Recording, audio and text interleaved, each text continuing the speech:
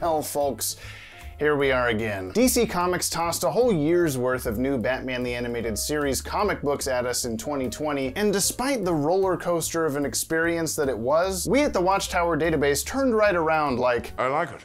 I know, it's great, right? Another! yes, I can use a Marvel reference in a DC video, because that's the theme I want to hammer home here acceptance. And yes, Hammer was part of the joke. We may have been a little harsh on good old BTAC last season, and while we absolutely mean the best when criticizing post-JLU DCAU media, it sometimes doesn't come off that way. Clearly, this stuff did strike a chord with the audience, and mm-hmm. that we come across passionate fans like you. Even when you're critical of what we did, it comes from a place of love. You know, Yeah, that, that for sure. you- it's because you care about it. Mr. Fogel is right. I tried to get ahead of this as early as our third chapter breakdown of BTAC Season 1, making sure you guys at home all knew that our pedantic continuity nitpicks don't make or break the quality of the comic. Maddie even brought it up in our Season 2 speculation video a few weeks back that the story is what's most important. Nobody actually cares about Batarang shapes, sky colors, airplane speeds, who Hush is or is not, LOL. What matters is how you feel when reading brand new BTAS adventures. All said and done, it was pretty kick-ass to see Slade, Azrael, all that stuff last year. Mr. Wing is the best thing ever, so that kind of overrides everything else. But that isn't to say I'm telling you you have to like The Adventures Continue. Even I am not a fan of every piece of DCAU content. But Season 2 is off to a darn good start, and I for one am gonna keep giving BTAC a chance. And I ask that you give that your best shot too, as we make videos covering every single issue all over again. Because Come on, now we've got DCAU Court of Owls. That's dope as hell. So let's dive on into the Easter egg basket, beginning with DCAU references. Deadman is here, clear, and ready to appear on the sidebars of most every page of the issue. He last appeared in the 37th issue of the Justice League Unlimited tie-in comic and had brief cameos in both Batman Adventures Volume 2 and Earth 12's Justice League Beyond number 23. But of course, most folks will remember him for his on-screen presence in JLU's Dead Reckoning. Really love the way he's incorporealated into this story. Really raises the spirits. And that's all the puns I'm gonna make because Paul Dini beat me to a ghosting joke. Wait, ghosting didn't come around as a slang term until 2011, according to the almighty Google. Nope, nope, I'm, I'm not gonna get bogged down in HBO Max style this year. This year is different. This year is better! Much better! We've got Haley's Circus once again, last seen on screen in the new Batman Adventures episode Animal Act, which may be what the Ringmaster is referring to by saying Dick Grayson was here just a few years ago. Though this place is probably more famously remembered from Robin's Reckoning, the old stomping grounds of the Flying Graysons before they became the Falling Graysons. Too soon? Interestingly, it's spelled Haley without the E here, which is accurate to mainstream comics spelling and how it was spelled in its original appearance in Detective Comics number 38, April 1940. The E spelling was seen in its DCAU appearances, however, notably Batman and Robin Adventures number 15, which also featured the first DCAU appearance of Deadman. Strangely, Mr. Haley was arrested at the end of that issue for criminal activities within the circus, and yet the circus is still named after him. Maybe to keep up appearances? But we'll get into whether any of that even matters in a little bit. Dick knocks over his popcorn here in a very similar, purposely clumsy move to Bruce Wayne's in Robin's Reckoning, though I'm not sure why Dick would feel the need to do this, since it's not like he needs to hide the fact that he's agile as all heck. And are Dick and Barbara dating again? I thought they broke up in Old Wounds. Shouldn't Barbara's romance chronometer be ticking closer and closer toward Bruce Wayne? Or is this Paul Dini's way of reversing that bit of continuity too? Batman Beyond really don't exist in this timeline, do it? What high school are they gonna name after dead Mayor Hill now? Hey, Renee Montoya is a detective still. Good work holding down the job, lady. General Vreeland appears for the first time since Harley's Holiday, which is even referenced in his and Veronica's dialogue. And Batman's I always think there's some truth to any legend, General, goes kinda hand in hand with I don't believe in coincidence in Starcrossed. Once we get into all the Court of Owls shenanigans, Talon's big pop-out glider is pretty similar to that of Batman's, which is used memorably in a chase sequence in Heart of Steel, the first HARDAC episode. Hold that plane! Something something Luthor's airplane, you get the idea. There's a couple fun Deadman stretchy face moments here, similar to stuff we saw in Dead Reckoning, and Did the D on his costume fall off? What's up with that? Well, I guess I'm looking forward to his adventures next issue where he tries to get that D. I'm sorry. When we see Hamilton Hill and his son Hamilton Hill Jr. on the news, their profiles are notably the same as Hill Sr.'s animated series model sheet. And the big poster of Hill is similar but not quite the same as the one we saw in the episode The Clock King. Big Daddy Hamilton only appeared in the new Batman Adventures style a couple of minor times, otherwise mostly ever being seen in the animated series look throughout that show, which seems to have carried over here in a sort of, oops, I might have used the wrong Harvey Bullock design, let me change that next time situation. Except there ain't no next time. Unless he comes back as a Talon zombie! And finally, Zatanna makes her BTAC debut in her same design from Justice League Unlimited. Well, friends, it seems like we're getting a visitor on this very real actual watchtower I'm really standing in. Let's go to Mr. Ted Kendrick for our next batch of Easter eggs. Comic book references! Yeah, I know that there are 20 pages full of comic book references throughout the entire issue, with it being a comic book and all, but we're gonna focus on the references to other books. The first and foremost obviously being the Batman Court of Owls saga by Scott Snyder and Greg Capullo, which launched their fan favorite run on the Batman series from the New 52 era. It's honestly so much fun to see newer Batman lore like the Court of Owls meshing with the DCAU, since the Court of Owls weren't even a thing until 2011, when JLU was already five years off air. Just like in the original comic storyline, the Talons are the vicious assassins assassins controlled by Gotham's secret elite in the Court of Owls. But did I also mention that they were zombies? Maybe I should have led with that part, but being undead, that means that Deadman can't possess them. The Court of Owls from Gotham City's early years are depicted in garb that is very similar to Ra's al Ghul's DCAU design. Perhaps he's involved with them in some capacity, or was at some point in the past, to share fashion tips on the whole collared and clasped cape aesthetic. General Vreeland also seems to have purchased the Barnes & Noble City of Owls combo book pack that comes with the entire original storyline and plastic white owl mask. Should we keep this on for the rest of the segment? Probably not. Another new character original to the comics that was introduced in this issue was Hamilton Hill Jr., who is indeed a different character than his younger brother Jordan Hill from Batman the Animated Series episode Be a Clown. Jr. first appeared in the DC Rebirth era Detective Comics number 969 by James Tynion IV and Joe Bennett. Jr. was appointed the new deputy mayor under Mayor Atkins, a former police commissioner, seen by Batman as a slightly corrupt political tactic in order to secure office. Jr.'s mother Maureen Hill also appears to be a brand new character, never before seen in any capacity anywhere. Deadman briefly called attention to his origin story from Brave and the Bold number 79 by Bob Haney and Neal Adams. Aerial Daredevil Boston Brand was murdered by League of Assassins operative The Hook. As a ghost, he teamed up with Batman to bring his killer to justice. This also played out in the DCAU in Gotham Adventures number 6, but more on that in just a minute. We got a few callbacks to the first season of Batman The Adventures Continue, which is now available as a paperback collection, so go get yourself a copy. Veronica Vreeland is still super thirsty for Bruce Wayne, just as she was at the rooftop party with Lex Luthor in the first issue of season 1, so some things never change. The Talons, seen in the Court of Owls flashback sequence, utilize both of Ty Templeton's early action figure designs, before the one that was ultimately used in the issue and action figure prototype that was sadly cancelled. In the video coverage for season 1's digital chapter 7, James also speculated that an owl painting in the Penguin's office was potential foreshadowing for the Court of Owls.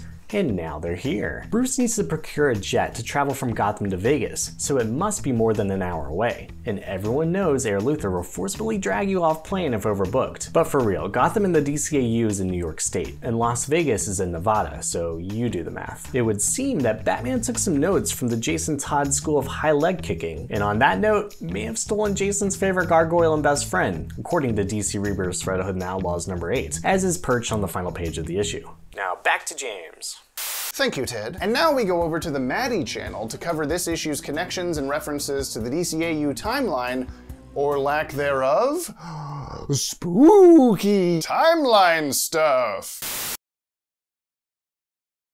Season 2 of Batman The Adventures Continue is already giving us some big reveals about the history of the DC animated universe. Perhaps the biggest of them stems from the existence of the Court of Owls. According to General Vreeland, they began operation during Gotham's early years, which we know to be around 300 years ago due to the tricentennial celebration in the new Batman Adventures episode Cold Comfort. Given that the General's collection of Court of Owls memorabilia is from the 19th century, this would mean that the court was operational for at least a century before slinking further into the shadows and becoming even more of an urban legend. This doesn't mean that the court disbanded though, as we learned that Granddaddy Vreeland, or Great Granddaddy Vreeland if you just happen to be Bunny Vreeland from the opening moments of Batman Beyond, tried to finally expose the court in the 1950s. This encounter seemingly left wounds that would ultimately lead to his death soon after. Something strange here is that accounting for the fact that Batman The Adventures Continue wants to frame itself as a present day story, this would place us approximately 70 years after Granddaddy Vreeland's death. General Vreeland, being in military uniform during this scene, seems to be somewhere in his early 20s, making the present version of him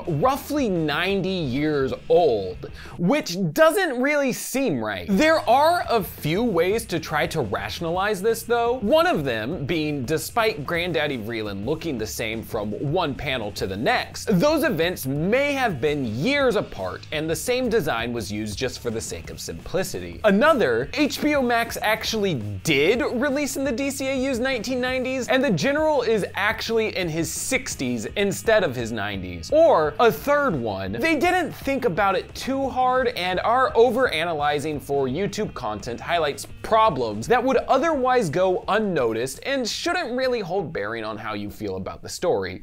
Personally, I'm swinging for number three. A similar issue arises elsewhere though, with Jordan Hill. The mayor's youngest child was first introduced in the Batman the Animated Series episode Be a Clown, which centered around his birthday. While we never learn his canonical age from the episode, the actor who played him, Justin Shenkarow, was between 10 to 12 years old while recording. With that in mind, one could assume that adding the four years that were said to elapse since Batman the Animated Series ended would place him around 14 to 16 years old here in The Adventures Continue. However, that gap increases when taking into consideration lines from Be a Clown that indicate Mayor Hill is still a bit new to the job. Under my leadership, no city will be safer or more free of crime. And enough time passes within Batman the Animated Series itself to get to a re-election campaign. Unfortunately, this much time passing doesn't seem to be accounted for, as Jordan not only doesn't appear as an adult, but actually seems to be pretty close to the same age as he was in his debut episode. Maybe he and General Vreeland are both suffering from late onset BDS? Mm, You know, Baby doll syndrome. Continuing our focus on the Hill family, this issue seems to be further divorcing the Adventures Continue timeline from the original Adventures timeline through this line from Commissioner Gordon, where he states how hard it is to remember a time when Hill wasn't the mayor. No mention of Mayor Penguin to be had, or this Hamilton Hill esque mayor from the Gotham Girls episode Pave Paradise, who we could assume isn't actually him due to resigning by the end of the episode, having a different voice, and looking a bit young.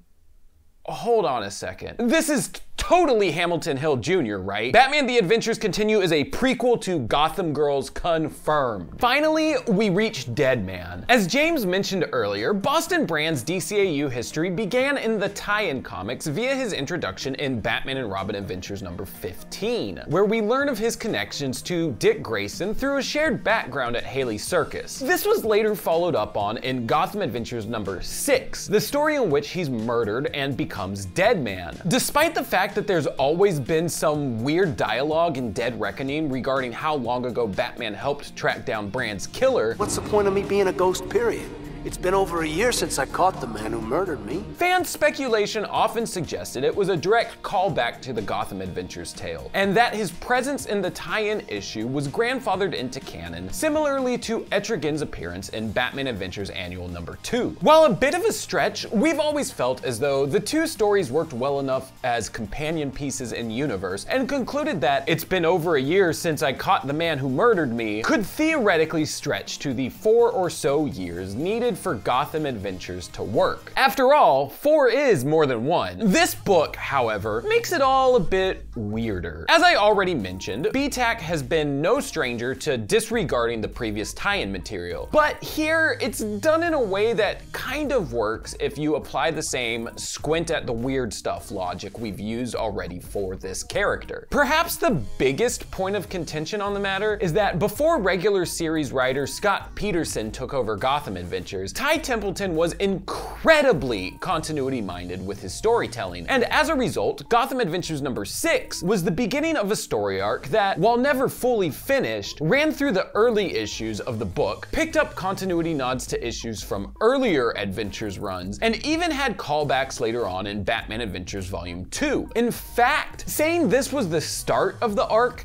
is kind of weird in and of itself due to direct references to the events of the previous issue as well, which was part of the Mr. Freeze storyline that went out the window with last season of Adventures Continue when Nora Freeze was shown to be dead once again. While complicated to untangle, like I said before, if you take the squint at it approach, we can still assume that something similar to the previous Deadman stories occurred, even if not beat for beat. This mainly seems to be due to the fact that in all three instances, Gotham Adventures number 6, Dead Reckoning, and now Batman The Adventures Continue Season 2, issue number 1, the writers were all pulling reference from Brave and the Bold number 79, in which Batman helps Deadman track down his killer. For instance, in BTAC, we see a panel of Deadman getting shot while performing at Haley's Circus. The same event played out in Gotham Adventures, and while there are differences to be seen when comparing the two panels, it could be chalked up to artistic representation. When Bruce says he and Nightwing captured the killer,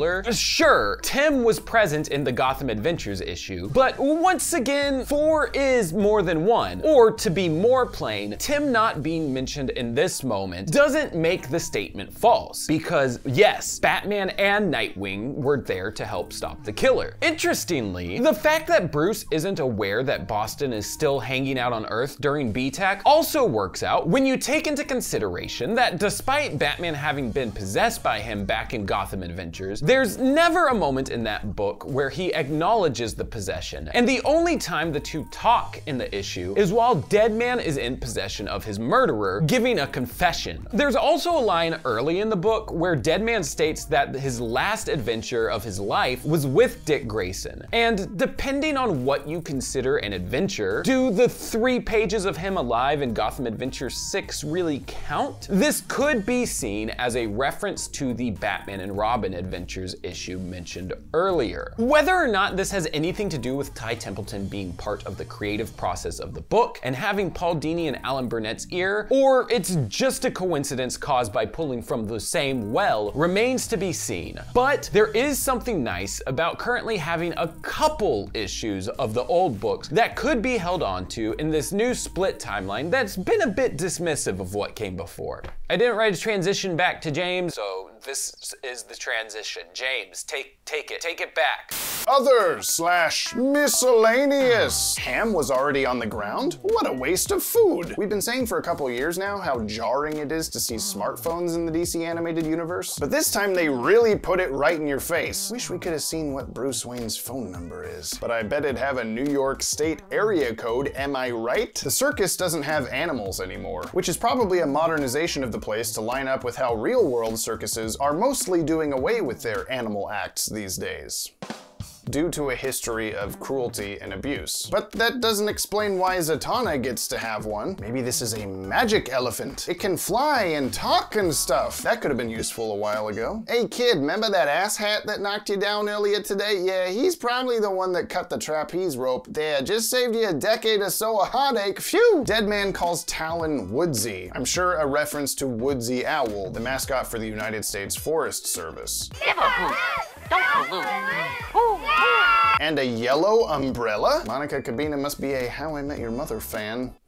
Or at least a fan of Maddie's arm tattoo. Speaking of Monica, thanks for fixing Nightwing's gloves. What, did you expect me not to bring that up in the video? Oh, thanks for sending me the signed comics and stuff. That was pretty cool. And finally, is this painting in Hamilton Hill's house something I should recognize? I could take a stab at figuring it out, but I think I'll leave it up to you guys to give me something for next video's correction speedrun conclusion. Really not a bad start, man. Calling it season two, calling these seasons at all, really gets you in the animated series vibe, like it's that much more part of this world. Now that they probably don't have to be marketing action figures as the primary objective, since the branch of DC that produced those figures shut down last year, yikes, I think the crew behind this comic may have the ability to take their time and really flesh out a fun, exciting story that puts story first, and action figure inclusion second. Remember Paul Dini's Harley and Ivy number three, after all. The toy company is making the Deep Dive Harley figure a major part of its merchandising tie-in, and what do you do? You cut the underwater scenes! But they did nothing to advance the characters or plot. They were just tacked on to show off more crappy little toys. Crappy little toys are our bread and butter, people! I cannot wait to see where this goes. With the new Justice League Infinity comic also coming out starting in July, we'll definitely have our hands full, but no shortage of new DCAU content to cover. Current plan is to combine BTAC and JL Infinity content into one video each time, since they release on the same day, so that we can keep our weekly schedule open and keep doing other videos that we want to do, rather than having these comics take over the channel. Now watch me eat my words when it's announced that Batman Caped Crusader comes out in like August or something, and I'm like, kill me. At the very least, it's super nice that these are coming out in full-length issues this year, even if it sadly means we don't get these dank title cards anymore. Rest in peace. But it means we only have to scramble to cover these comics once a month. Thank you. Thank you! I'll end with some theories going forward for BTAC. Maybe we should keep a running scoreboard of stuff we got right and wrong. It seems like someone in the Hill family is going to be connected to the Court of Owls. I think the book wants us to think it's going to be Hamilton Hill Jr., since Jr. dismissed Commissioner Gordon's line of questioning and is a pretty prominent presence in the book so far. But us data boys are leaning more toward the mom, Maureen, being the person under the Scooby-Doo bad guy mask. It would be along the same lines of the chick from Batman vs. Robin being the reveal. Jeez Louise, it's a woman! And Maureen says, I swear I'm going to start growing feathers one of these days, on the first page. So as long as she's not talking about how Dr. Emile Dorian spliced her with Mr. Wing DNA, I'm betting on her giving a hoot very soon. Or this Talon is Jason Todd because they leap across roofs in a very similar way. Or he's Hush. he's, he's Hush though, right? Before we go, we're giving away a trade paperback of the first season one volume of Batman The Adventures Continue. I have an extra because I already bought it and then Monica Kubina decided to mail me a signed copy because I'm cooler than you. All you have to do to enter is comment down under in the Australia box and answer our question of the day. With the Court of Owls making their DCAU debut, what other characters would you like to see pop up in BTAC or JL Infinity that were created after JLU went off the air? Me personally, I want to see Mr. Bloom if we're keeping on the new 52 Batman course. Dude is damn creepy. Thank you all for watching, and make sure you check out our recent Will It Canon episode on the first season of The Adventures Continue. Linked below and right up there. And despite what it may look like, no, this is by far not the last episode of Will It Canon. You'll see. You'll all see. Thanks to everyone whose names you see scrolling by here for supporting us every month on Patreon, including our newest patrons, Fresha, Kyle Noranya, and Sawyer Family Reviews, as well as Eleanor and Dakota who have upped their patronage, and our top patrons, Mac, Aaron Young, Cameo Shadowness, Luke Mears, Robert Sterling, and Richard Mon 12. That's what I get for forgetting to put them in the script before I started recording. Thank you all so, so, so much for helping to keep this WD boat afloat. If you want to get your name on the list, as well as other awesome stuff like custom art, the ability to vote on videos, hangouts with us on Zoom once a month, that's pretty cool, and a bunch of other stuff, visit patreon.com slash DCAU Watchtower. That's all, folks. See you next month. See you next week, really. I don't remember whose video. I think it's a Ted video. Ted will see you next week. It's a video about all the Joel Schumacher influences on Batman the Animated Series and vice versa. You're gonna like it. Bye.